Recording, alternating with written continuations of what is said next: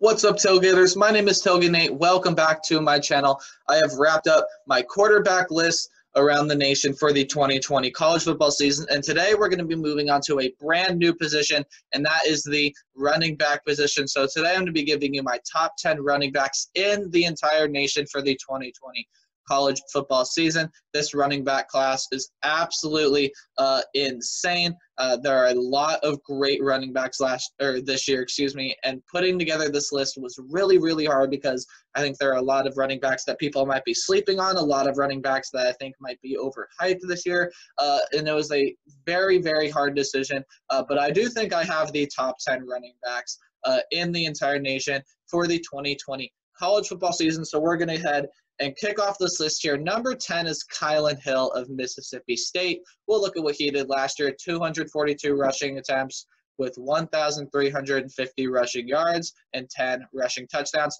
Tack on 18 catches with 180 receiving yards and a receiving touchdown as well. He is a very, very explosive runner, and I know the argument for Kylin Hill here uh, is going to be well, Mike Leach is coming in, so Mississippi State might not run the football ever again. And while that might be true, I think Kylin Hill is a guy that because he's not going to be getting the ball nearly as much as he did last year, he's going to want to make every single play count. And by that, I mean he's striving for a touchdown on every single touch that he gets, especially since he might not uh, get anywhere close to 200 uh, touches this year.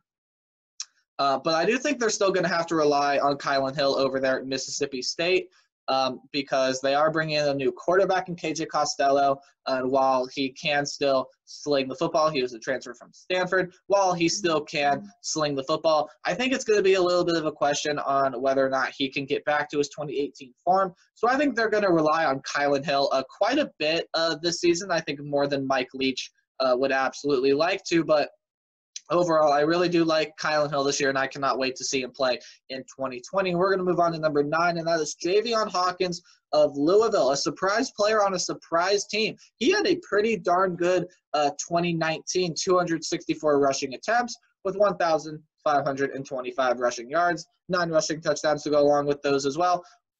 Only had four catches for 58 receiving yards, so definitely is a true runner. Uh, and I mean, they, he needs to be the runner doesn't really catch balls out of the backfield, especially since Malik Cunningham has Tutu Atwell uh, out there. Uh, but Javian Hawkins is a guy that uh, I think can duplicate his stats this year. He was really, really good last year on a Louisville team that was kind of okay, and this year this Louisville team is supposed to uh, get tons times better. Uh, and I think Javian Hawkins is just going to get better as well. I think he'll put up some of the same stats, and maybe he'll catch the ball a little bit more uh, out of the backfield as Mikhail, or excuse me, Malik Cunningham uh, gets more comfortable uh, back there under center uh, for Louisville, but we're here today to talk about Javian Hawkins. I really, really like uh, this young man, and I expect him to have another big season here in 2020. We're going to move on to number eight, and it's a guy you may have forgotten about. It is Max Borghi of Washington State. Uh, keep in mind that he did have Mike Leach as a head coach. So now let's go ahead and look at his stats 127 rushing attempts with 817 rushing yards, tack on 11 rushing touchdowns as well. And this is on a team that throws the football at least five times more than it runs the football. And it shows here with Max Borghi's catch numbers out of the backfield 86 receptions for 597 receiving yards and five receiving touchdowns. So he has proven himself to be able to catch the ball out of the backfield as well. And I think with Mike Leach gone and there Washington State just undergoing a lot, Max Borghi is going to be a guy that you have to watch out for uh, this year. I think Max Borghi is due for a breakout rushing season. I could definitely see him getting a thousand yards, and he's already proven himself to catch balls uh, out of the backfield. He reminds me a, a lot of Christian McCaffrey. He reminds a lot of people of Christian McCaffrey. Apparently, he's been compared to him uh, in more articles than I would care to count. But it really is true. Max Borghi is this generation's Christian McCaffrey, and I cannot wait to see how he breaks out in his rushing ability in 2020. He really is a guy that makes every uh, single rush count, and he proved that last year. 2020 is going to be an absolutely insane year for Max Borghi. But in the Pac 12 conference, he is overshadowed by his fellow Pac 12 competitor. And here at number seven on this list is CJ Verdell of the Oregon Ducks. Now, I think they're going to have to rely on CJ Verdell a little bit more this year at Oregon, especially since Justin Herbert is leaving. Tyler Shough is coming in, and not really sure uh, what to make of him yet. So let's look at what CJ Verdell did last year 197 rushing attempts with 1,220 rushing yards. So when we looked at uh, Kylin Hill and Javian Hawkins, uh, CJ Verdell did not have as many touches, but still had roughly uh, the same amount of yards, which is really impressive. Tack on eight rushing touchdowns as well. 14 catches for 125 receiving yards, no receiving touchdowns. No receiving touchdowns, though. So CJ Verdell uh, really is a guy that I really do like this year. I think is the best runner uh, in the entirety of the Pac-12. Um, a guy that really, like I just said, is going to have to be relied on a lot more this year. I feel uh, just because Justin Herbert is leaving, and there's just some uh, questioning out there about the passing attack with uh, the ability of Tyler Shough. Um, he has a big test against Ohio State, and I, I do think CJ Verdell is going to play very, very well in just about every game uh, that he is going to play this season. Uh, is the number seven rusher in the nation and the best rusher in the Pac 12, in my opinion. We're going to move on to number six, and that's going to be Jarrett Patterson uh, of Buffalo, a guy that you might not have heard about a lot, but he is such an explosive runner. We look at what he did last year, and the offense at Buffalo really does flow through Jarrett Patterson. 312 rushing attempts with 1,799 rushing yards. So basically ran for 1,800 yards last year, which is crazy. 19 rushing touchdowns to tackle along with that as well. That is insane. Uh, 13 catches out of the backfield with 209 receiving yards and a receiving touchdown as well. And if you give Jarrett Patterson open space, he is gone. He is so deceptively fast. It is absolutely insane. I think Jarrett Patterson is going to have another big season like he did uh, in 2019. Maybe not 1,800 rushing yards, as he does have to play some tougher games, especially a game uh, against Ohio State, where he really is going to be tested. Uh, but I think if he can have a big game against Ohio State and just a big game in general, Buffalo has a great chance to win the MAC. And it really all does flow through Jarrett Patterson. He is a guy I really, really like, and I'm really excited to see on just how he improves his running game here uh, in 2020. We're going to move on to number five here, and that's going to be another group of five running back, Kenneth Gainwell from Memphis. Uh, just like Jarrett Patterson, he is deceptively he is deceptively fast, and I absolutely love watching Kenneth Gainwell. We'll look at his 2019 stats: 231 rushing attempts with 1,459 rushing yards and 13 rushing touchdowns. So some really good stats uh, from Kenny Gainwell. And out of the backfield too, proves he can catch the football. Uh, got thrown the ball a lot. Got thrown the ball a lot. Um, 51 receptions, 610 receiving yards with three receiving touchdowns. Uh, to tack along with his rushing stats as well. Um, he can do it all. He can run the football. He can catch the football. Uh, Kenny Gainwell is an absolute machine uh, for this Memphis team, and they're going to need him to play well. As they're not going to be coached that well, um, uh, at least not as well as they were. Uh, Mike Norvell is leaving, so they're going to need their playmakers to step up. But Brady White, Kenneth Gainwell coming back, and I think Kenneth Gainwell is going to have another big year in 2020. We're going to move on to number four, and that is Journey Brown of Penn State. Now, the stats don't really show it this year, but he is going to be uh, their lead back this year, and I expect him to absolutely break out uh, in 2020. One only 129 rushing attempts with 890 rushing yards, but 12 rushing touchdowns for Journey Brown last year. That is crazy.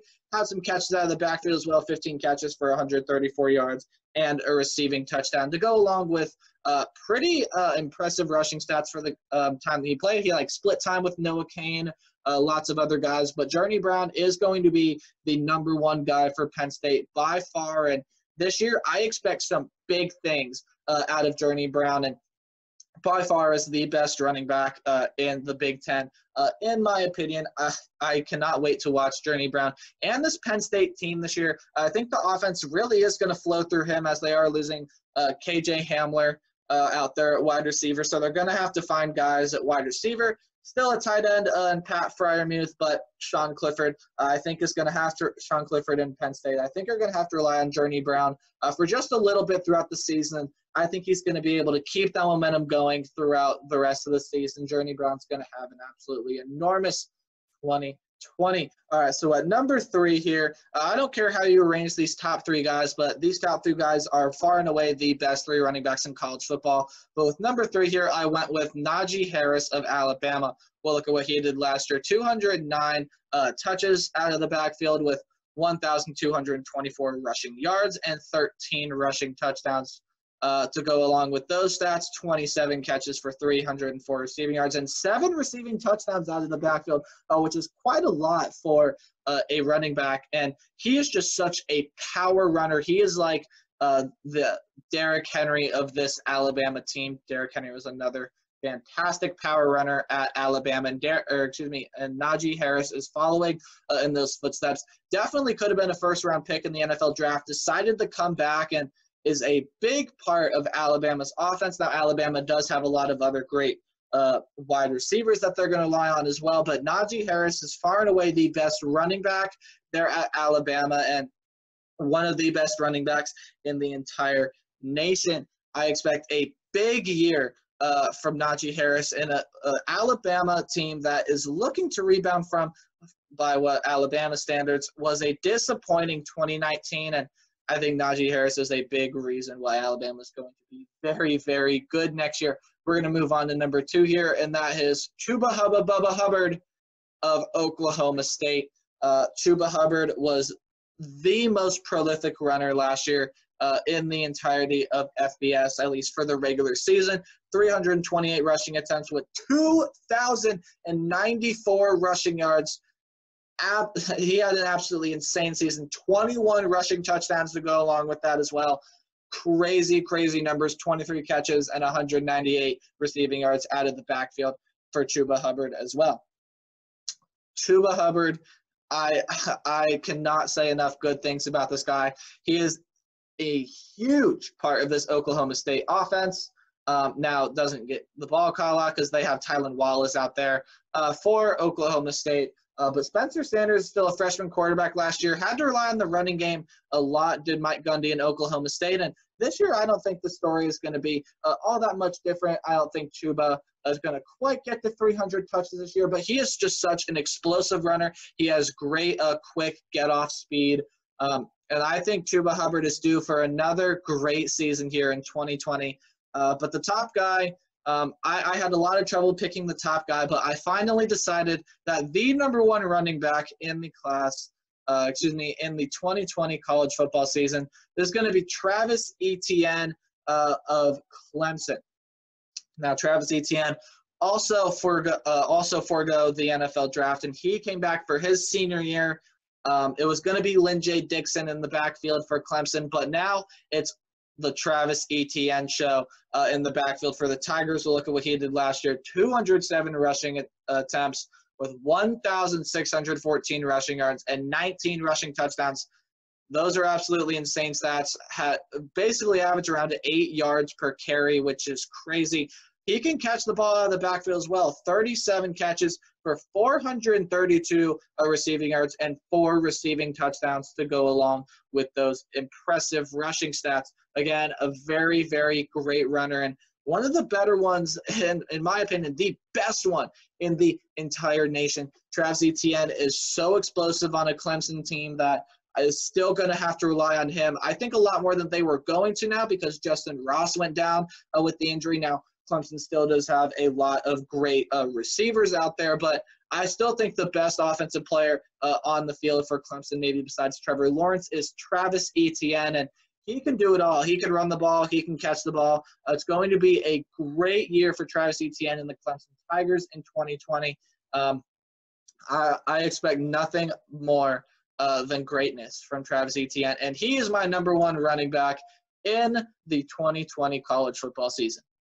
All right, that is going to do it for my top 10 running backs in the nation for the 2020 college football season. And if you guys enjoyed, please do leave a like. Also, consider subscribing if you are brand new to the channel or you just enjoy my content. And please turn on that notification bell to join Tailgate Nation. And if you haven't done so already, I would encourage you to leave a comment down below and tell me your thoughts on the running backs that we are going to be seeing in 2020. Let me know if there's a running back I missed or you think should have been considered on this list. And as always, until next time, remember to play hard, but tailgate harder, and I'll see all y'all in the next video.